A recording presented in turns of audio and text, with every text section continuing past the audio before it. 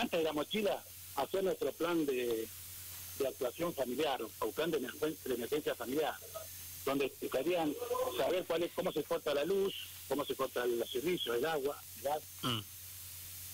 Eh, em, quién va a buscar a quién en el tema de la evacuación, o después de que pase el, el evento adverso, en este caso el sismo, tener ese plan de, de- de- de búsqueda de los niños, por ejemplo, porque posiblemente el sismo no nos haga nada, y eh, en la esquina nos matamos, porque otro padre también va a buscar a su hijo rápido, y cre- creyendo que en la escuela no va a estar seguro, y te puedo asegurar que en la escuela va a estar más seguro porque permanentemente se está trabajando con este tema de la mitigación sísmica, digamos, ¿no?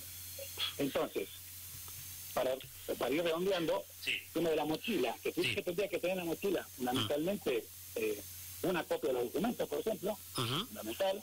Si, si tuviéramos los documentos, todos los documentos juntos, estaría buenísimo, pero Sí. Los documentos, ese plan, ese plan de evacuación también, con números, eh, los números importantes. Con respecto, por lo menos, según la cantidad de familiares que sean, en la mochila no va a entrar los dos litros de agua diario que medianamente se necesita para, para la supervivencia, ¿verdad? Pero por lo menos eh, saber tener un bidón de agua de 5 litros y renovado permanentemente eh, eh, fuera de la mochila, para la familia, digo, ¿está bien? Sí. pilas, radio a pila, porque siempre la emergencia se va a transmitir por, por, por AM, en el peor de los casos, estoy, estoy hablando del peor escenario, ¿eh? Sí, sí, sí, sí. Eh, Siempre se va a transmitir todo por AM, entonces la pila, la radio, linterna, eh, encendedor, fundamental, eh, tener eh, una muda de recambio, algunas cremitas, eh, un poco de jarandina también va a ser importante después porque lo primero que se va a cortar va a ser la luz, la luz, por lo tanto no va a haber eh, agua, y el método más simple eh, y más común de potabilizar el agua sería con una gotita de, de lavandina. Así que fíjate, ya estamos hablando a un botiquín fundamental, ¿no? Un botiquín Sí, sí, sí. con cinco elementos básicos que serían los guantes, el perinox, el gasa, cinta y venda. Con esos cinco elementos en el botiquín ya estaríamos. Y después los medicamentos también. Una copia de medicamentos o un backup de medicamentos también, porque muchas veces después se como se trastorna toda la comunidad eh, y posiblemente el abastecimiento o esté cerrado o no haya luz o etcétera y no vamos quedar sin, sin, sin estos elementos fundamentales. Así que, entonces, repasando, agua, fuego, una frazada, o ropa de abrigo, los documentos, pero fundamentalmente todo eso tiene que estar escrito en el plan, en el plan de emergencia familiar. Sí. Eh, eh, Cacho, viste que cuando se habla de la mochila se habla justamente después de que pasan las cosas, ¿no? Pasó esto de lo de San Juan, un susto bárbaro. Ayer charlábamos con gente de San Juan, eh, pero acá en Mendoza est- estamos igual que San Juan, ¿no? Este, Igual. y, y esto, y esto, lo de la mochila es todo el año, no es solamente después de lo que pasó en San Juan, hoy armamos la mochila. Esto debe quedar para siempre, ¿no? Por eso te digo, Silvio, que, eh, que igual que pasa en la escuela, ¿viste? son cinco los tres días que va la defensa civil Ujú. y después se olvidan. El tema es que tenemos que estar cuando preparados, permanentemente y fundamentalmente antes, antes. Lo tenemos que esperar que suceda porque siempre la emergencia se va detrás de la emergencia. ¿Está bien? Sí. N- nunca nos habíamos preparado para una pandemia de, de gran de, de esta escala y, y mundial, nadie. Sí, sí, resulta sí. que vino, vino, vino, vino este virus y estamos todos eh, experimentando ahora. Sí. Está bien, entonces, nosotros que sabemos que vivimos en una zona sísmica porque estamos muy cerca de un borde convergente de dos placas tectónicas, ¿eh? estamos a 460 kilómetros aproximadamente de la fosa eh, peruana, eh, permanentemente, ayer lo citaba la gente del, del, del INPEC, eh, perdón, del INPRE, Ujú. el tema de la subducción, y con esa energía se libera, puede ser catastrófico. Por lo tanto, ¿cuándo tenemos que estar preparados? Antes, antes, Santa Farina, por favor, cuidémonos antes, al igual que el uso de tapaboca, el distanciamiento social, porque eh, el- seguimos teniendo, está el, el COVID todavía con nosotros, imagínate. COVID más eh, sismo. Hola, qué lindo cóctel que ¿no? Creíamos que viste que no va a pasar, entonces Sí. la gente ponía el San Juan, dice, che, nosotros estamos sufriendo este COVID que, la, que las cámaras, y viene este evento adverso, en este caso natural. Imagínate, Sí. puede pasar cualquier cosa. Tenemos nosotros acá en Penafiel, tenemos un- una gama de, de pedidos sin tampoco eh, meterle miedo a la población, porque, Sí. por ejemplo, yo dice, no, pero no, no, no hablen de estas cosas porque la gente le da miedo. No le tiene que dar miedo si tenemos que convivir. ¿Entendés? Te- te- Tener una visión multidimensional de los riesgos. Eso sería gestionar el riesgo. ¿Qué sería gestionar el riesgo? Trabajar antes, en el antes, para tratar de atenuar el riesgo. Mm. ¿Cómo? Cuidándonos, tapabocas, el distanciamiento, eh, reunión en el exterior, eh, haciendo el, el casa periodo en la casa, bajando el objeto colgante pesado y teniendo la mochila los 365 días al año preparada. Eh, eh, Cacho, viste que parece una cosa del destino, o no sé, o de mandinga, no sé, pero pareciera que los temblores o terremotos son de noche, viste lo que pasó en San Juan de noche, ¿no? Y te agarra muy, te agarra muy mal parado, porque ayer charlando con gente de San Juan, algunos acostados, otros ahí viendo tele, qué sé yo, te agarra en una situación muy incómoda, ¿no? Este, y, te cuesta reaccionar. ¿Viste, viste, no sé si viste el noticiero de San Juan, que, una de las chicas se para y sale corriendo. Claro, y, digo, ¿y eso, lo que hizo la chica no hay que hacerlo, o sí? No, no, no, no. Lo que hay que hacer en el durante, cuando está sucediendo el momento sísmico, lo que hay que hacer es autoprotegerse debajo al costado de un mm. objeto contundente. Es la mesa, donde hay una buena viga, una buena una buena columna, ¿eh? ese sería un lugar, uno de los lugares más seguros que podría tener dentro de la casa. Sí. Saber cuáles son los lugares seguros dentro de mi casa, saber cuáles son los lugares seguros fuera de mi casa. ¿Eh? Por lo tanto, eso todo va en que estar en emergencia, porque hay que charlar, hay que hablar con la familia de estos temas. Es porque no estamos diciendo que a un tsunami. Que, no sé, no sé si acá no va a llegar un tsunami alguna vez, no creo pero no se sabe. La naturaleza, el tema justamente, eh, el tema de los tiempos geológicos no son como los biológicos, posiblemente no sabemos cuánto tiempo va a pasar, capaz que nosotros no lo vemos, pero que haya ese, un gran sismo, por ejemplo, por el tema de ese reacomodamiento de las placas tectónicas.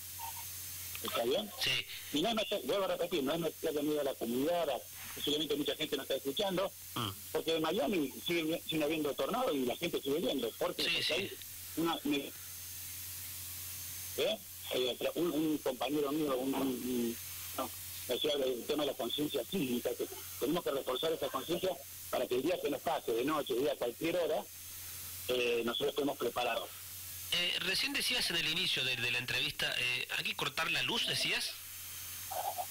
Saber, saber cómo se corta la luz, el agua y el gas. ¿Por qué puede pasar? Mm. Viste que las estructuras rígidas, cuando hay movimientos sísmicos, se van a, a gritar, romper Dentro de las paredes hay eh, caños de gas, de agua, de luz. Posiblemente ese caño de agua, de gas, de luz empiece a perder y una pérdida de gas con una, chispa, automáticamente, si no se cierran todas las, todas las llaves, eh, por seguridad, eh, las llaves matrices, digamos, ¿no? Automáticamente. Puede ser que en, nuestro domicilio quede perdiendo un poco de gas y una chispita, yo prendo un fósforo y volamos todo. eso automáticamente lo que hay que hacer es cortar el agua, el gas y la luz. Qué, importante eso que estás diciendo. Lo primero, resguardarme, tener armado ese plan de contingencia con la familia. ¿Quién va a buscar al nene? ¿Quién va a buscar a la nena? ¿Dónde me pongo? En la mochila. Y también esto que estás remarcando, ¿no? De eh, cortar la luz, el gas y el agua por, por si se rompe algún caño, algún desmoronamiento, ¿no? Y para digo, por lo que podría llegar a pasar, ¿no? Fíjate, fíjate otra cosa, Silvio, que la gente, la gente mayor, digamos, nuestros antecesores, sí. fundamentalmente eh, Mayopet, sí. Eh, me animaría a decir que fue que diseñó esta, esta ciudad tan hermosa con las plazas, cada cinco o seis cada en una plaza. Sí. ¿Sabes por qué? Sí, lo con sé. La prevención de, con la prevención de que haya un lugar de evacuación eh, comunal, digamos. Imagínate, la familia, que es la célula principal de la sociedad, está preparada. Con una comunidad organizada y instituciones eh, decisoras organizadas, va a ser mucho mejor el daño que vamos a sufrir. Fundamentalmente no vamos a lamentar la, vida, eh, la pérdida de vidas humanas. ¿Está preparado San Rafael para un terremoto? Digo, desde el punto de vista del auxilio, el hospital, eh, la Cruz Roja, Defensa Civil, digo, para, para rescatar, para porque ojalá que nunca lleguen, ojalá que nunca pase. ¿Pero estamos preparados para eso? Eh, mira, yo diría que yo pondría de, del 1 al 10, mm. yo pondría 6. Epa. Epa, Porque ¿sabes cuál es el, mayor problema? Sí. Que no va a pasar, la gente dice que no va a pasar y sabes que va a pasar. Mm. Si bien eh, si bien hay esfuerzos de distintos sectores, pero eh, yo yo me, me arriesgo a decir eso. Mm. ¿Está bien? Sí. después, eh, y el que, tenga dudas, que tenga problemas, eh, lo discutimos, no hay ningún problema. yo tengo fundamento, ¿no? Para decir, para decirme, ponerme en el lugar de decir que hay, estamos en seis. Mm. ¿Está bien? Sí, sí, sí, sí. Y no es que nos quedamos en seis, seguimos siempre permanente, paso a paso. Y nosotros de, la Brigada USA también somos una, un grupo de voluntarios únicamente, sin apoyo de ningún, de ningún tipo. En algún momento eh, nos dio con equipamiento de la municipalidad, pero pues, seguimos trabajando a pulmón eh, con este dinero. De hecho, estábamos, estábamos eh, eh, se llama stand-by la situación, donde el, comandante de la brigada de, de USAR San Juan, yo me pongo en comunicación con él, él agarra y me dice, bueno, quédate con tu gente, ¿cuántos van a hacer? Y bueno, mira, nosotros somos ocho, vamos a ir en dos autos con, el equipo de protección personal y algunos elementos de seguridad para ayudar. Y bueno, quédate en stand-by y yo cualquier cosa te activo. Y resulta que a las 3 de la mañana, después de una evaluación primaria, una SR1 que se llama, en los estándares internacionales, eh, me dice, a las 3 de la mañana me dice, mira, Cacho, eh, directamente desactivar la brigada porque no ha habido pérdida eh, de vida humana, así que no hay que hacer ningún tipo de rescate, así que, entonces simplemente yo hice el llamado a mis compañeros y nada, desactivamos la, la cosa ¿Sabes qué? Nosotros tenemos la mochila preparada. ¿eh? Pero además, además de esta, de esta, de este, de este grupo, esta, esta brigada, que vos eh, hace rato que se ha conformado, que no tienen ayuda de nadie, ¿hay un grupo de rescatistas en San Rafael? Además de ustedes, un grupo, un grupo grande de rescatistas por si pasan, no sé, la peor de las tragedias? Mira, se, puede armar, se va a armar, de hecho se va a armar. Mm. Eh, bomberos, bomberos voluntarios, bomberos... Bueno, se va a armar, usted me está diciendo que no hay entonces, Cacho, no hay. Además de ustedes no hay, no hay un organismo estatal que diga... No, no, no, hay, no hay, se puede, se, se puede armar. El bombero, bombero, bomberos... Eh, bomberos, digamos, eh, voluntarios están muy altamente capacitados y con equipamiento de primer nivel. sí, sí, sí. Eh, lo que pasa es que va a faltar gente, ¿viste? van a faltar brazos. Pero ¿sabes cuál es el tema, querido Silvio? Si nosotros antes nos preparamos y, si, y si la inversión en seguridad se hace antes, en el durante la vamos a pasar eh, muy bien.